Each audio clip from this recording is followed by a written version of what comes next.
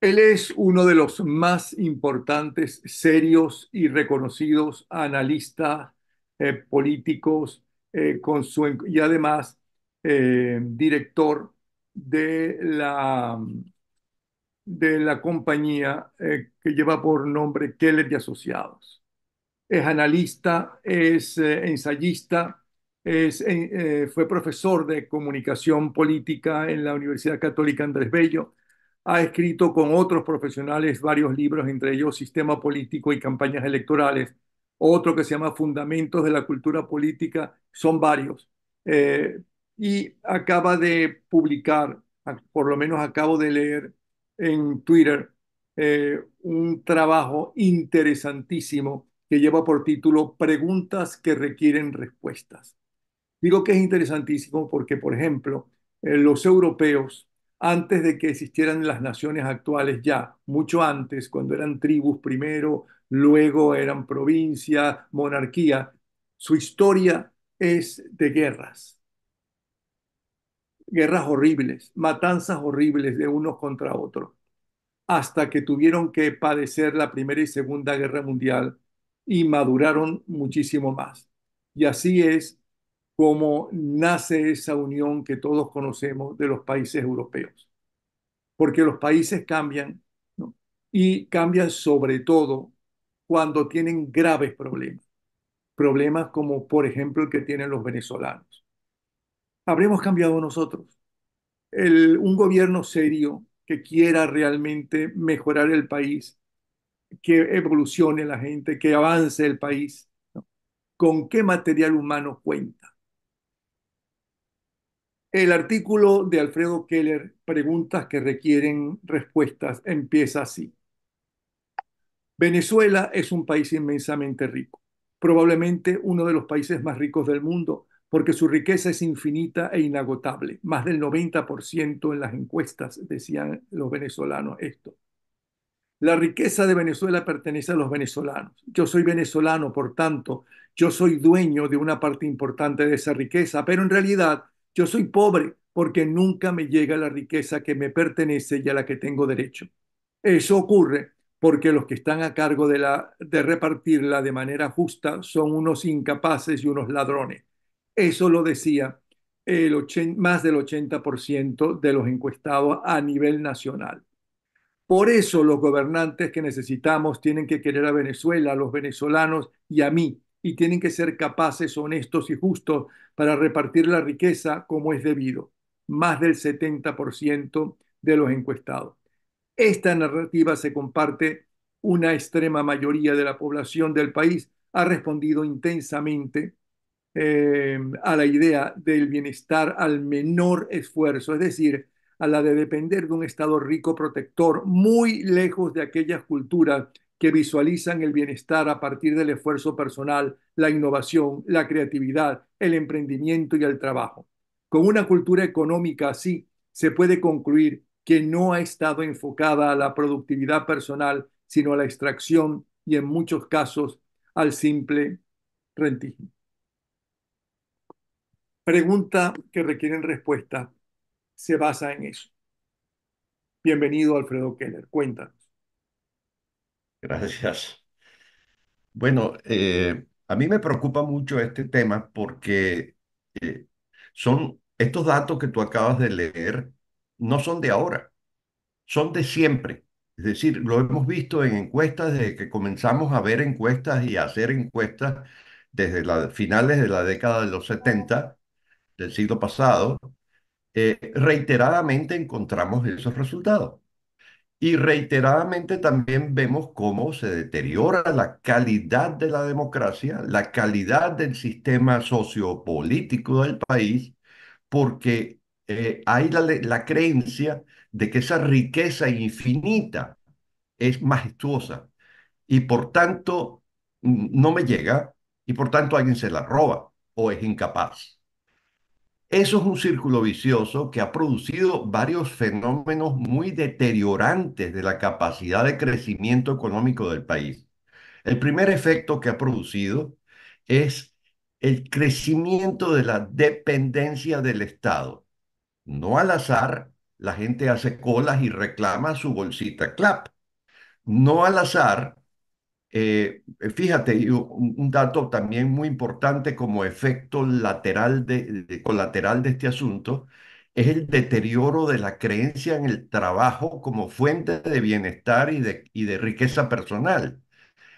Eh, el 20%, llegamos a medir esto, el 20%, es decir, uno de cada cinco adultos en Venezuela llegó a considerar que no era necesario tener que trabajar, bastaba extender la mano y pedir que ese Estado proveedor te, te, te- te financiara la vida. Pero también cuando tú tienes ese cuerpo de creencias, no tienes una formación moral sólida, no tienes ni siquiera una educación básica profundamente extendida en tu, en tu capacidad cognitiva, tú llegas a la conclusión de que esa riqueza que me pertenece, llegó la oportunidad de tomarla y por tanto me convierto en un ladrón de los bienes públicos porque en el fondo no es ladrón, simplemente estoy tomando mi parte, la que me corresponde. Y como no hay una retención moral, pues no tiene límite tampoco. Entonces, son consecuencias de este cuerpo de creencias, un cuerpo de creencias que se ha convertido en circular, porque otro efecto que ha producido es que todos los procesos electorales en Venezuela se convirtieron en plebiscitos.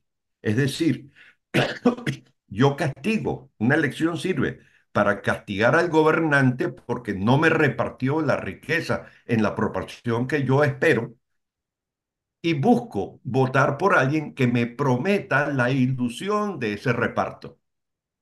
Con lo cual, todas las elecciones se convirtieron en plebiscitarias. Y por eso había cambio de gobierno de uno al otro. Era muy difícil que un presidente lograra que su partido repitieran elecciones. Y por eso se había un cambio entre Acción Democrática y COPEI, que eran los dos partidos dominantes. Entonces, bajo ese concepto, Venezuela nunca fue capaz de avanzar en su estructura social hacia un modelo de desarrollo sostenido, porque siempre era lo mismo. Es decir, quítate tú para yo repartirte mejor, cosa que como no ocurría en, la medida de la idealización de la población, entonces en la próxima elección me sacaban a mí para poner a otro que vendiera con más eficacia esa idea del reparto. Este es un drama cultural. Esto es la base de las creencias en Venezuela. Y una sociedad así, cuya eh, base eh, de creencias económicas se basan en la expoliación de los bienes públicos, no es capaz de avanzar hacia el desarrollo. No lo es. Y por eso lo estamos viendo ahora. Es decir, el gobierno de Chávez, ¿en qué consistió? En, hacer lo más efectiva posible esta idea de la dependencia del gran proveedor, del gran repartidor de la riqueza del país. Eso fueron las misiones, eso, fueron, eso fue la estafa más grande que se podía lograr. Por eso creo que el principal reto que tiene la nueva generación gobernante que venga a Venezuela es la de desmitificar estos estas creencias básicas sobre la Venezuela eh, ideal, del, donde no hay que trabajar, etcétera, etcétera, hay que desmitificar eso, desmontarlo, desmontar esos mitos y construir una nueva plataforma de cultura económica basada en la productividad, en la creación, en la innovación, en el apoyo del Estado a esas oportunidades de desarrollo intelectual de la gente. No puede ser que la sociedad venezolana se mantenga en general, porque hay grandes, iluminados, eh, eh, progresistas en Venezuela, verdaderamente progresistas en el sentido de que vislumbran el crecimiento y el desarrollo, pero la mayoría de la masa popular no tiene ese, esa cultura. Yo creo que ese es el gran reto, verdaderamente, porque las fuentes de riqueza siguen estando en Venezuela, la capacidad para administrarla también. Venezuela tiene maravillas de, capacidad administrativa, eh, personas muy bien preparadas, pero si no logramos doblegar esta cultura, pues nada, dentro de cinco años, seis años, diez años, volveremos otra vez a donde estamos ahorita. Y eso es lo que hay que romper, un círculo vicioso que tenemos décadas sufriendo. De Ahora, eso se trata mi artículo. claro, pero has hecho encuestas y tienes base para decir, para empezar a pensar si cambió la sociedad venezolana. Y cuando digo la sociedad venezolana, digo la mayoría. Claro, po- por, eso es que digo preguntas que requieren respuestas. Porque, a ver, yo me jubilé hace ya seis años y no he vuelto a hacer encuestas. Eh, no he visto en los colegas que hacen encuestas en Venezuela la preocupación por tratar de eh, entender la sociología del país. Parece que solamente se interesaran por el conflicto electoral, el conflicto de, la- de los candidatos, de los partidos. eh, son más que encuestadores sociológicos, son encuestadores de la coyuntura del poder. Eh, y por tanto, no tengo respuestas a mis preguntas. Ahora, yo creo que mientras tanto es posible que se haya agudizado estos problemas, porque con el chavismo vino la exageración de, esta, de este planteamiento eh, de creencias eh, y antivalores, porque eso es lo que es, es la rapiña, eh, y por consecuencia, durante el régimen de Maduro, se caen estrepitosamente todas estas creencias porque se exacerban más bien, porque entra en un fracaso el país, en una imposibilidad de continuidad. Y entonces nadie, mientras tanto, ha utilizado esta, esta crisis que tenemos en este momento para aprovechar para repintar la cultura económica. Yo siento, sin embargo, que hay algunos visos de posibilidades de desarrollar una anticultura, si se quiere, o una cultura más centrada en la productividad, porque a lo largo del régimen chavo-madurista ha habido un deterioro inmenso de las creencias del papel del Estado como gran proveedor y simultáneamente un creciente, una creciente demanda de libertad socioeconómica independiente del Estado. Esto no ha sido del todo aprovechado, nadie ha utilizado esto como discurso de, de base para cambiar las realidades, salvo aquella que usa María Corina, por ejemplo, de que el socialismo es un fracaso, de que no debe regresar al socialismo más, puesto que ha producido esta hambruna en todos los sentidos, no solamente de alimentos, sino hambruna moral, hambruna espiritual, hambruna de sociedad, eh, de familia, y por consecuencia esto eh, busca eh, aprovechar esta circunstancia para iniciar un cambio en la cultura económica del país. Si lees el programa de gobierno que ha producido María Corina a través de 20 Venezuela, esto que ella llama Venezuela Tierra de Gracia, tú verás que está enfocada a un plano diametralmente opuesto a lo que ha sido la gestión pública de los últimos 20, 30, 40 años, y especialmente de la que ha sido el socialismo radical de Chávez.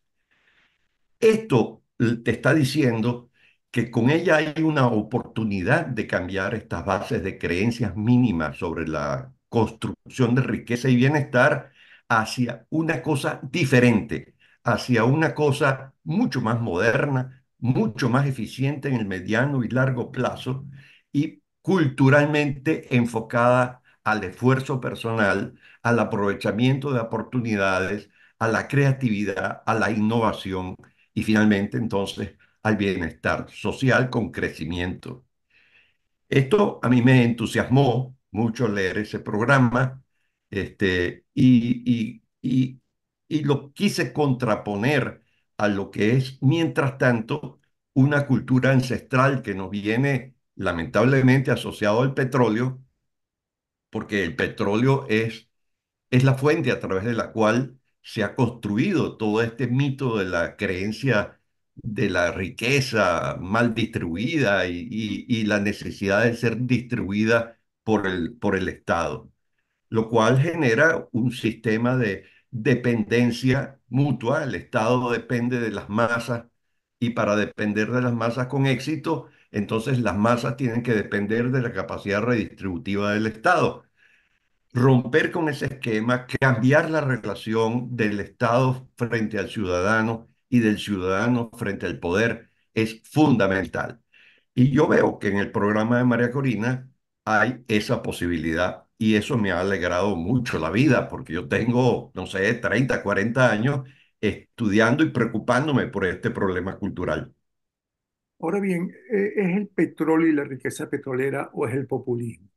Lo digo porque hay muchos países en el Caribe y en América Latina, no todos, pero muchos, que piensan exactamente igual. Inclusive hay una canción muy popular, eh, y si es popular es porque la gente se identifica con la canción, o mucha gente se identifica, quítate tú para ponerme yo.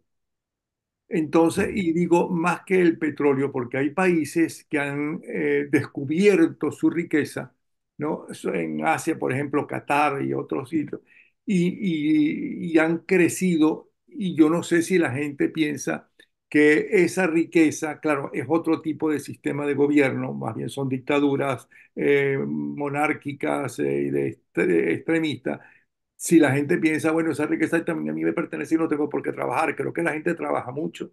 Pero por otro lado, yo siento, por ejemplo, hace unos días, una de las mujeres que he entrevistado, que se llama Dailiris García, una de las cosas que dijo es que quiero un salario para vivir con dignidad, quiero trabajar, quiero que mis hijos sean mejores que yo, quiero que, al igual que mi madre, que era una maestra, ¿ok?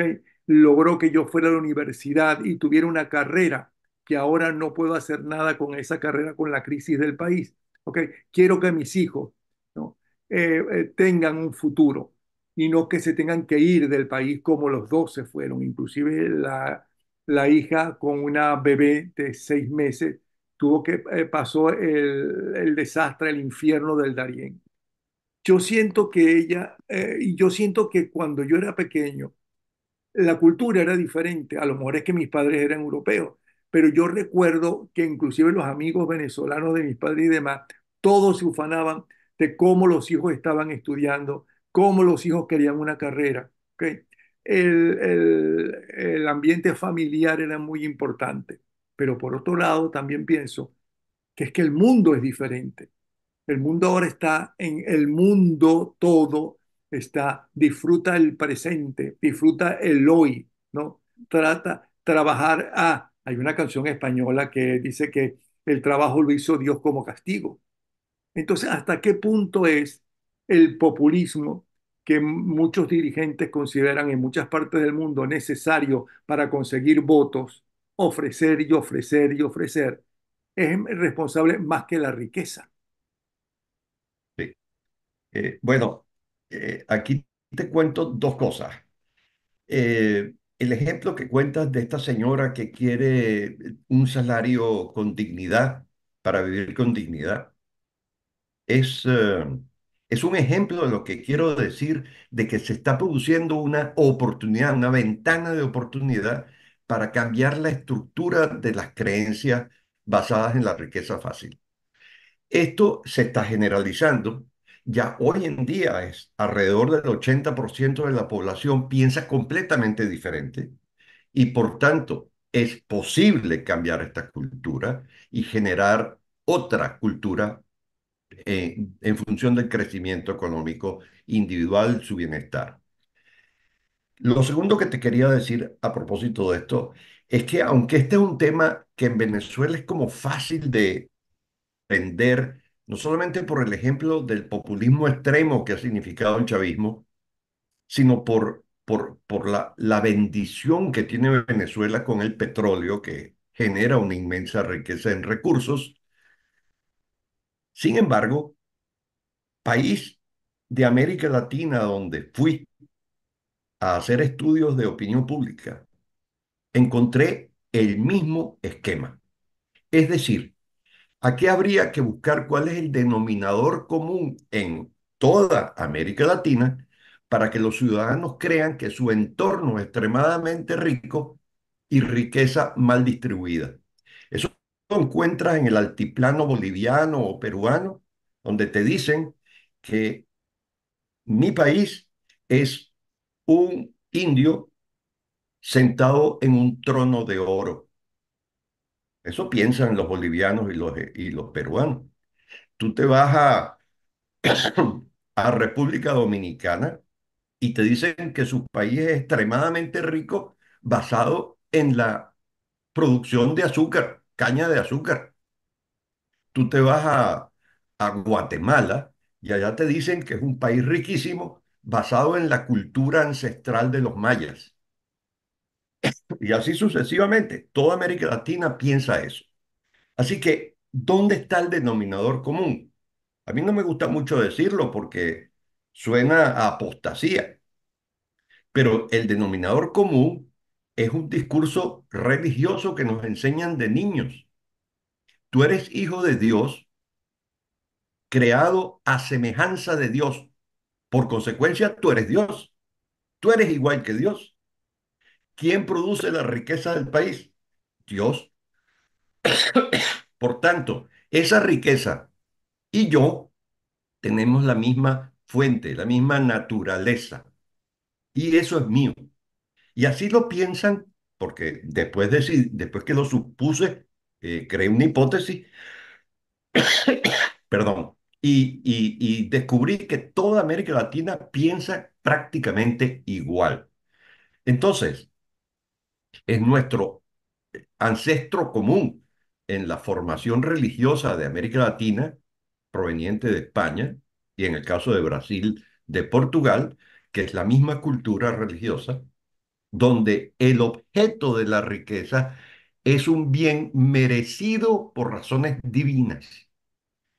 Esto, en el caso de Venezuela, es exagerado porque te restriegan por la nariz todos los días la riqueza de la fuente petrolera, que tenemos la, eh, las reservas más grandes del mundo, por tanto, infinito. Mira, te cuento una anécdota. Una vez hice una, una dinámica grupal en una casa en Altamira, que tenía un gran ventanal que daba al Ávila. Entonces aproveché para preguntarle a un tipo que decía que Venezuela era país riquísimo, que era inagotable la riqueza. ¿De qué tamaño es la riqueza venezolana? Él se volteó, mira el Ávila el Cerro del Ávila, y dice, en esa época el billete de mayor denominación era de 500 bolívares. Y dice, imagínate ese cerro de billetes de 500. Y además, tú escarbas y para abajo todavía hay. Entonces, esa es la idea que hay sobre la riqueza. Y eso naturalmente que yo saque un billetico de 500 no tiene ninguna importancia. Y si saco una palada, tampoco nadie se va a dar cuenta. Y así, así, ese es el drama venezolano, ese es el drama latinoamericano si queremos hacerlo extensivo, porque tú te vienes a Europa y preguntas esas cosas y no consigues lo mismo. Es decir, ningún país en Europa te restriega por la nariz eh, su riqueza de minería o, o del subsuelo o de la agricultura siquiera sino basado en el esfuerzo, en el trabajo, en la ingeniosidad, en la tecnología, en, en, la innovación. Eso es la fuente de riqueza. Es decir, la riqueza no está en lo que tiene el subsuelo, la riqueza está en la capacidad para transformar lo que tiene el subsuelo en bienestar colectivo. Esa es la riqueza. Y por tanto, ese es el verdadero reto. Porque si no, mira, es como un arco un arco para que se sostenga tiene que tener una piedra angular que llaman, y esa piedra angular es la que te da resistencia a todo el arco. Por eso tú puedes poner un puente encima de un arco. Si tú le quitas esa piedra angular, el arco se cae y el puente que está arriba también.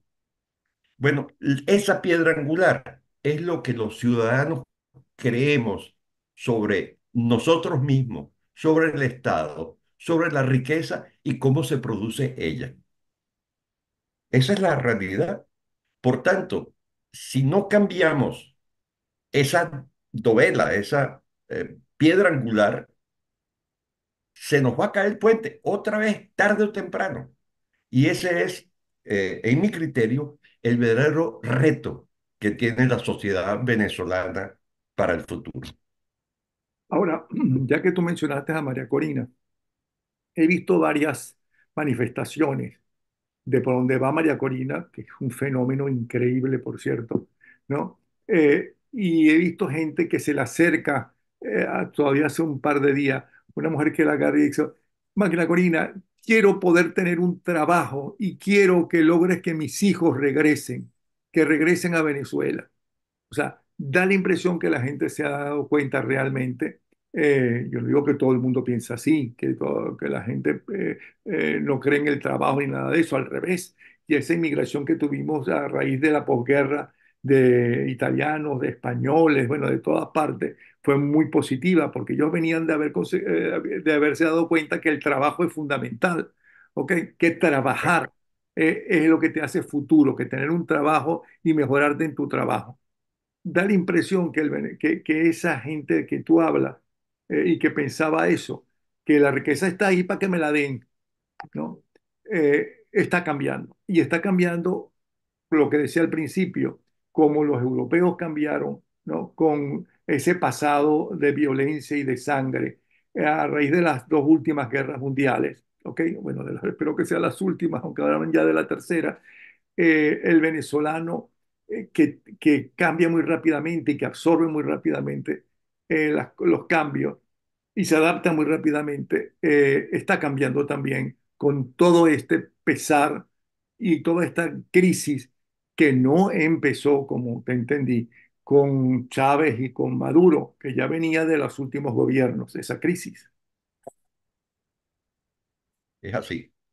Es así. Eh, yo, por eso digo, repito, eh, yo creo que hay una ventana de oportunidad tremenda para cambiar la cultura eh, por, por este tipo de demanda popular que tú acabas de mencionar.